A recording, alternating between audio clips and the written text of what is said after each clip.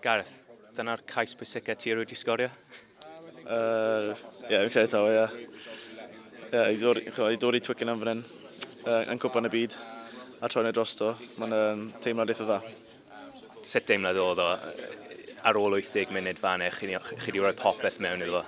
Da, oedd yn wych. Mae'r um, o'n i'n gwybod yn yr wythnos bod bydde fynd lawr i 20 munud diwetha, so chi'n credu y gwaith wnaethon ni'n haf, chi'n yn dangos ar pa mae um, anodd wnaethon ni gweithio mas yn um, Switzerland a Qatar, so yn credu um, oedd ein ffitrwydd ni yn dangos a na siwr dethon ni benna yr uh, fuddigoliaeth.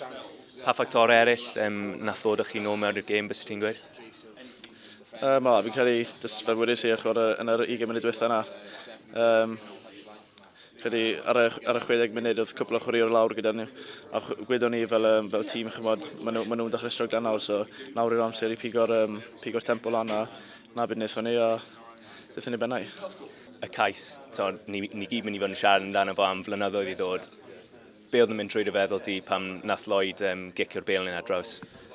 Um, Chod, o'n i'n neud siŵr bod fi on-side i ddechrau da. Um, ond i fod yn deg, nath, um, nath er, Jamie yn credu athu trwyddo, roed Lloyd trwyddo. O'r un, um, mae Lloyd yn, mae fe'n chwaraewr mor talentog, ond nath e ben o'r cico mewn infield e fel mae'n gweud, a o'n i digon lwcus i fod na just o ben a pigo'r pelan.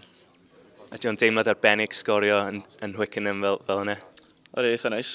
Um, Fyna sgwrdd Scott fyd uh, doi blynedd o, so mae'r boes Emlyn yn joio sgorio ceis yma so a nawr yn edrych ymlaen at, at weddill y tournament, uh, lle ti'n meddwl mae'r fuddigoliaeth yma'n rhoi Cymru?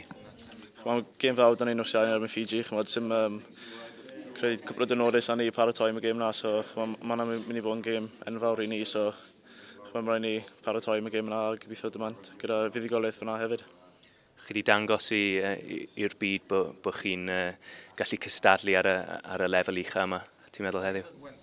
Doch, mae'n credu bod ni wedi rhoi um, chwa statement mas heddi, Mae'r um, ie, ni'n barod, ni wedi cael haf dda, a ni'n barod i um, barod am y cwpl y byd.